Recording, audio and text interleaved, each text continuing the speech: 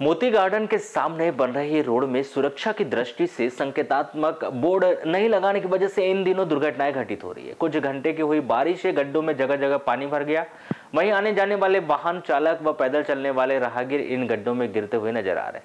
तेईस जून को हुई बारिश में देखने को मिला कि जो रोड पर गड्ढों में पानी भरा होने के कारण आने वाले दो पहिया वाहन चालक को संकेतात्मक बोर्ड नहीं दिखने की वजह से वह गड्ढों में गिरते हुए भी नज़र आ रहे जिस प्रकार से यहाँ पर सीसी रोड का निर्माण हो रहा है, उसके चलते यहाँ पर जो सामग्री व मटेरियल लाया गया है, वह रोड पर ही रख दिया गया। जिससे आने जाने वाले लोगों को काफ़ी परेशानियों का सामना भी करना पड़ रहा है। वहीं बरसात के कारण मटेरियल पूरा तरह इधर उधर बिखरने की वजह से आने वाले लोगों को काफ़ी परेशानी का भी सामना करना पड़ रहा है। जबकि मोती गार्डन स्थित रोड काफ़ी अधिक यातायात दबाव बना रहता है और यहाँ रोड पूरे घंटे चालू रहती है।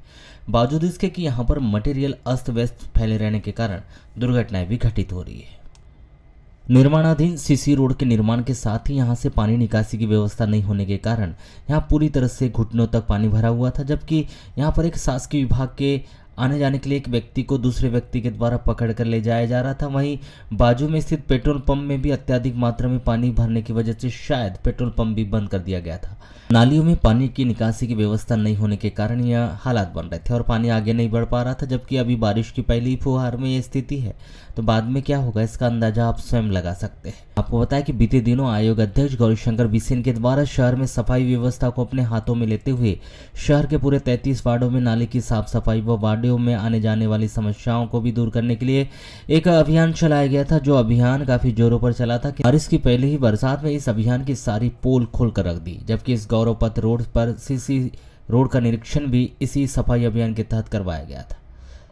किंतु आज स्थिति यह है कि यहाँ से पैदल चलना तक मुश्किल हो गया है, जबकि यह काफ़ी व्यस्ततम मार्ग कहलाता है। यहाँ मार्च कुछ ही मीटर की रोड यहाँ पर बनवाना था, किंतु इस रोड के निर्माण की यदि बात करें तो यहाँ काफ़ी कछुआ गति से काम शुरू हुआ है।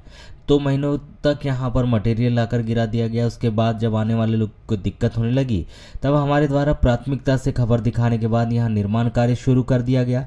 वहाँ भी बीते दिनों से अभी तक ही चल रहा है, जबकि सभी को पता है कि मानसून सत्र लग चुका है। ऐसी स्थिति में यदि निर्माण कार्य किए जाएँगे तो किस प्रकार से निर्माण होगा, यह तो संबंधित विभाग ही बता सकता है। जबकि यहाँ कार्य सूखे दिनों में भी हो सकते थे। किंतु विभाग की उदासीनता के चलते आज भी यह कार्य पूर्ण तर्क बनकर तैयार नहीं हुआ है। सुबह से हो रही बारिश के कुछ घंटों बाद जब बारिश थमी तो आने जाने वाले लोग इस मार्ग से अपने गंतव्य की ओर जाने लगे।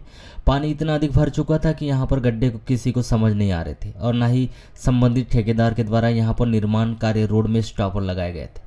और न ही कोई सांकेतिक बोर्ड भी लगाए गए, जिसके कारण एक वाहन चालक अपने साथी के साथ अचानक से एक गड्ढे में गिर पड़ा। हालाँकि इसमें किसी को चोट तो नहीं आई, पर वहीं एक राहगीर आम्बेडकर चौक से मोती नगर चौक की ओर जा रहे थे, तभी चल रहे रोड के निर्माण काम के बाजू से गुजरने पर वह सीधे गड्ढे में जा गिरा। वहीं चल रहे राहगीरों के द्वारा उसे उठाकर बाहर निकाला गया। उन्हें भी कोई चोटें नहीं आई, पर उन सभी के द्वारा यही कहा गया कि यदि यहाँ पर कोई कार्य चल रहा है तो संबंधित विभाग को यहाँ पर जानकारी के संबंधित बोर्ड लगाना चाहिए, या तो फिर स्टॉपेज लगाकर जानकारी देनी चाहिए, क्योंकि यहाँ दिन का समय है तो कोई बात नहीं। यदि रात्रि की बात रहती तो बड़ा हादसा घटित हो सकता है।